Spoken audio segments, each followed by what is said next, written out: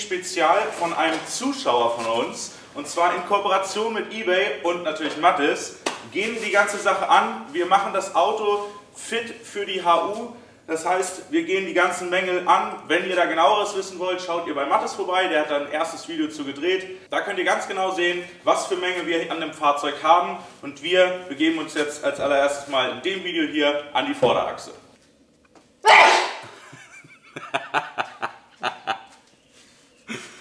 Kurze Zusammenfassung, was wir hier überhaupt jetzt vorhaben. Und zwar ist es so, dass alle Achsmanschetten sind defekt, sind offen. Dann haben wir Probleme bei den Querlenkerlagern. Die müssen auch erneuert werden. Wir nutzen hier ausschließlich Ersatzteile von eBay. Wir haben hier darauf geachtet, dass wir Ersatzteile nutzen in originaler Ausrüsterqualität, damit wir auch was Vernünftiges verbauen. Jetzt zeigt euch Nino, wie man vier Mängel beseitigt. Oh Mann, oh man.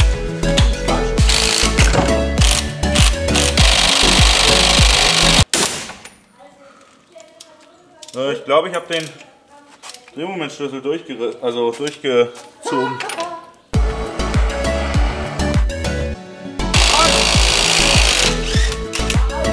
Hat sie.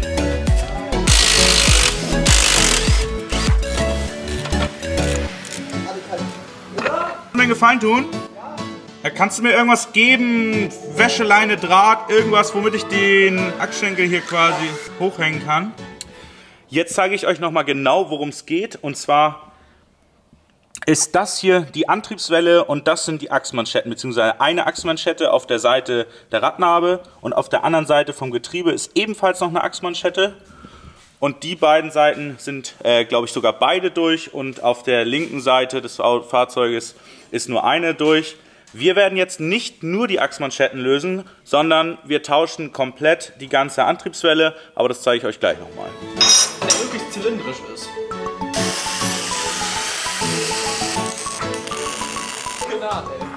Was habe ich mir hier jetzt genau gebaut? Und zwar ist das ein Werkzeug, um die Spurstange auszubauen, denn auch an der Spurstange ist die Manschette defekt. Also so können wir auch direkt den Spurstangenkopf ersetzen und tauschen auch hier direkt die komplette Spurstange. Auch das findet ihr natürlich alles bei eBay. Genauso wie dieses Werkzeug, was ich mir hier jetzt selber gebaut habe. Wenn ihr die Möglichkeit nicht habt, gibt es dieses Werkzeug schon fertig bei eBay zu kaufen. War das wirklich oder? Das könnte gewesen sein, ja? Hilfe! Festgefahren mit dem Werkzeug. Der Spurkopf ist ja auch noch hier vorne drin und alles. So, wir machen wir raus, ey. Ja, ich weiß nicht, wo dein Trennkabel ist. Ach so, ja, drin steht gerade von oben weggeräumt. Thermoschock.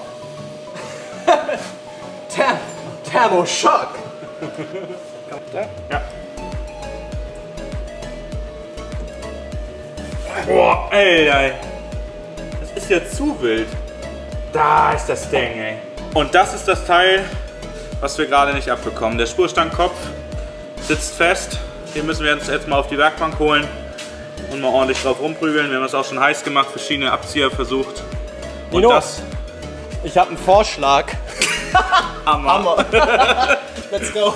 Und das ist die Manschette, die wir eigentlich nur äh, austauschen müssten. Wie ist das für dich? Ja, wenn es abrutscht, dann muss man sehen, was dann passiert, aber. Ah, So kann man es machen. ja, Gut. da ist das Ding. Ganz schön massives Paket, was hier von eBay gekommen ist. Und wir haben uns jetzt hier für Antriebswellen von SKF entschlossen. Und natürlich äh, nur Qualität an das Auto von Alexander ranschrauben. Und wir liefern natürlich hier auch nur Qualität. Schauen wir mal. Ja, SKF. Das sind jetzt tatsächlich beide Seiten. Irgendwie sind an der Vorderachse alle Gummis ziemlich kaputt. Äh, Das ist wahrscheinlich deshalb so, weil die alle aus demselben Zeitalter kommen und jetzt alle ganz schön ermüdet sind vom Material her. Deswegen, wie gesagt, Achsmanschetten, das muss alles neu und da die Ersatzteile ja bei eBay ganz schön günstig sind, tauschen wir auch direkt die ganze Achse. Ähm, das ist dann echt auch deutlich weniger Arbeit, als hier neue Achsmanschetten draufzuziehen. Da braucht man zum Teil auch Spezialwerkzeug. beziehungsweise muss dann das ganze Gelenk hier auseinanderbauen und ja, da hatten wir beide jetzt nicht so eine riesen Lust drauf. Deshalb hier die neue Achse. Sieht gut aus. Schniekes Teil. Ja.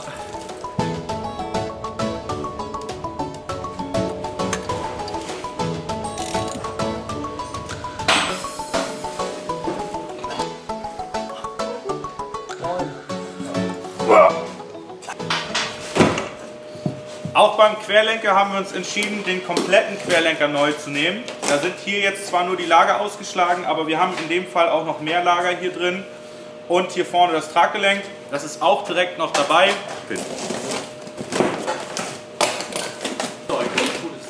Das Ganze ist jetzt ein Set mit allem drum und dran. Auch die Koppelstangen sind jetzt dabei. Und wie erwähnt, auch die Traggelenke für unten sind dementsprechend dabei. Und das Ganze für rechts und links komplett.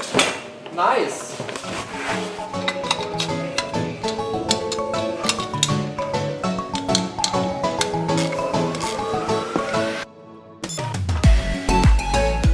Nachdem ich nun die Antriebswelle innen schon am Getriebe befestigt habe, kommt jetzt ein sehr wichtiger Schritt. Und zwar möchte ich ja jetzt alles wieder verbauen. Natürlich hier auch nur Neuteile. Und da ist es jetzt ganz wichtig, dass ihr die Schrauben alle mit dem richtigen Drehmoment anzieht. Diese ganzen Werte findet ihr auf jeden Fall überall im Netz. Das könnt ihr ganz leicht rausfinden. Ich werde das jetzt hier mal machen und zeige euch, wie ich das Ganze einbaue. Als erstes drücke ich hier den Bremskolben zurück, einfach weil ich noch ohne Ende Platz habe. Immer gut abhängen das Ganze, damit ihr die Bremsleitung nicht beschädigt. Ich mache das jetzt mit einer ganz normalen Schraubzwinge. Passt da ein bisschen auf. Äh, hintere Bremsen müssen zum Beispiel auch mit einem speziellen Werkzeug zurückgedrückt werden. Aber das Ganze findet ihr meistens irgendwo im Netz. Wie genau das funktioniert, hier reicht es auf jeden Fall einfach den Bremskolben zurückzudrücken.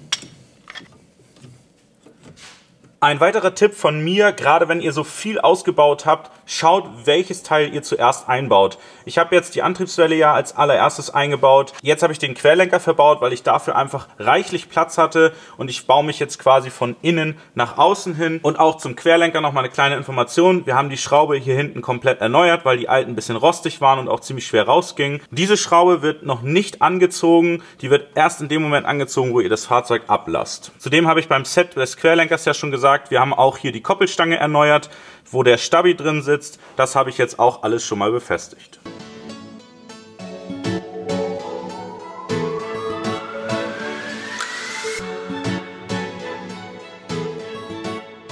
Jetzt habe ich alles so wieder zusammengebaut. Alle Schrauben sind jetzt nur handfest angezogen, wenn überhaupt. Und jetzt nehmen wir uns den Drehmomentschlüssel zur Hand und werden alle Schrauben mit dem richtigen Drehmoment festziehen.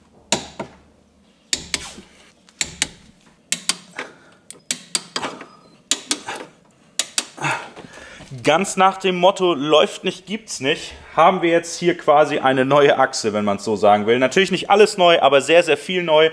Und so werden wir garantiert kein Problem haben mit der Hauptuntersuchung.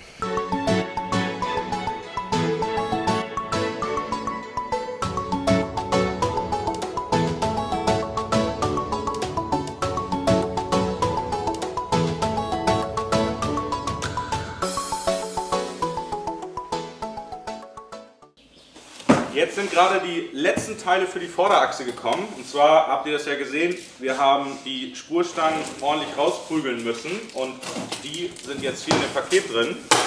Wir haben hier einmal für links und rechts die Spurstangen mit Spurstangenköpfen, die Manschetten natürlich neu, um die es eigentlich nur ging.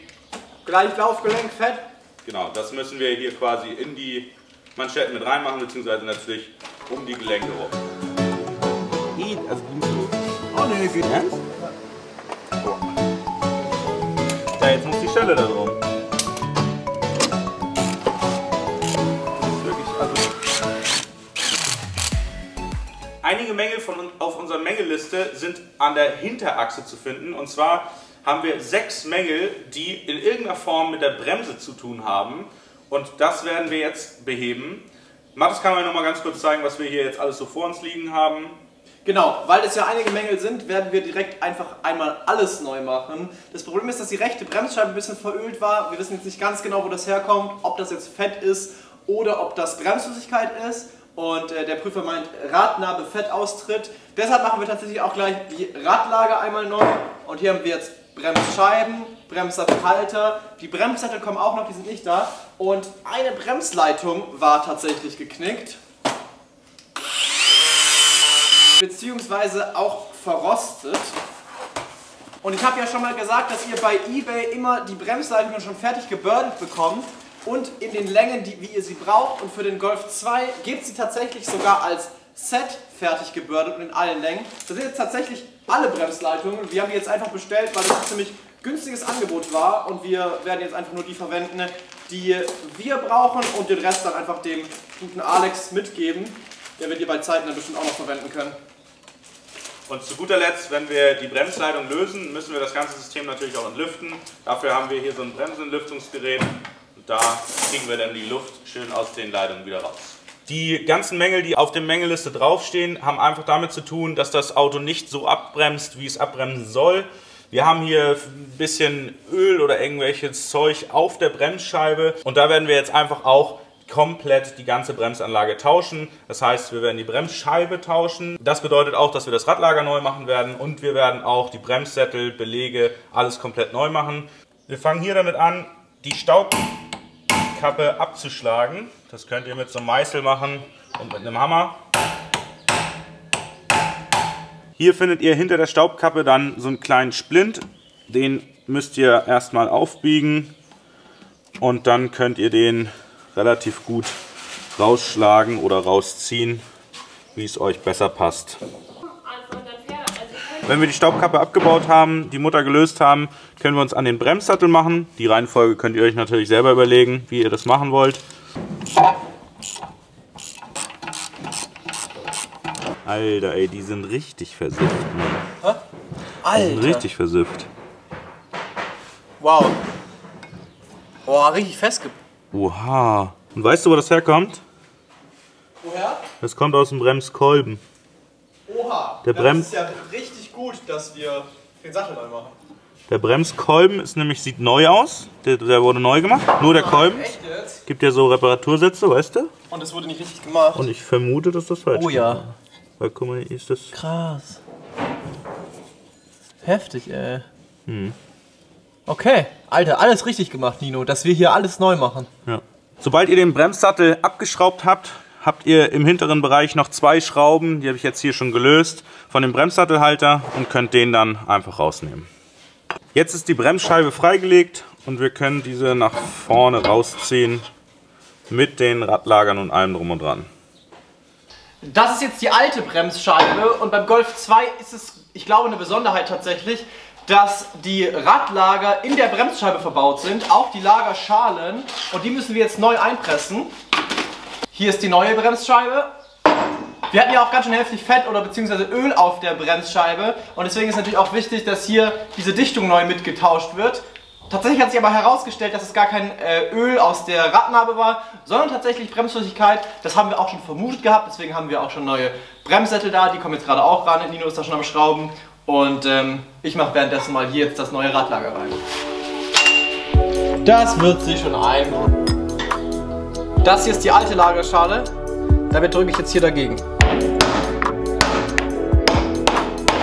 So, jetzt muss das Radlager gefettet werden und dann wird es hier eingesetzt und dann kommt hier die Dichtung drauf und auf der anderen Seite kommt dann später eine Staubschutzkappe drauf.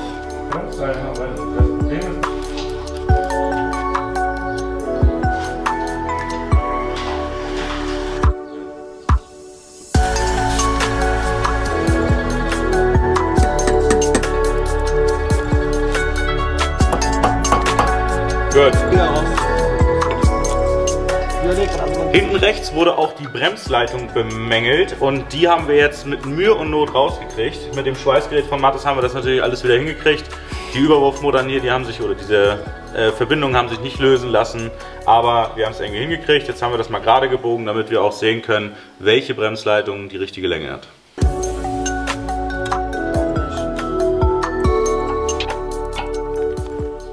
Ich habe bei der vorderen Achse schon angesprochen und zwar haben wir jetzt hier hinten zwar einen neuen Bremssattel, aber hier scheint der Kolben nicht ganz zurück, zurück, zurückgedrückt zu sein, weil das nicht auf die neuen Bremsbeläge passt.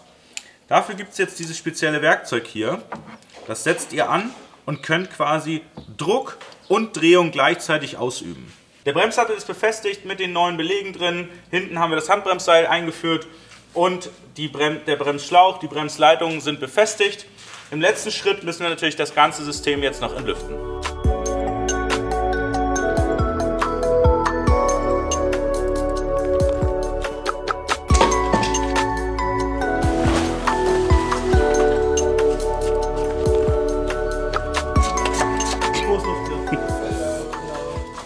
Somit haben wir jetzt alle technischen Mängel behoben. Ob es den Prüfer zufriedenstellt, das seht ihr im letzten Video bei Mattes auf dem Kanal. Da schaut ihr dann einfach mal nächste Woche vorbei, denn da hoffen wir, dass wir den Prüfstempel bekommen und dann Alexander zufrieden das Auto wieder übergeben können. Genau, es gibt noch einiges zu tun. Vorne rechts das Rathaus, einige optische Sachen. Das seht ihr dann aber wieder im Video auf meinem Kanal. Also hoffe ich, dass wir uns im nächsten Video wiedersehen.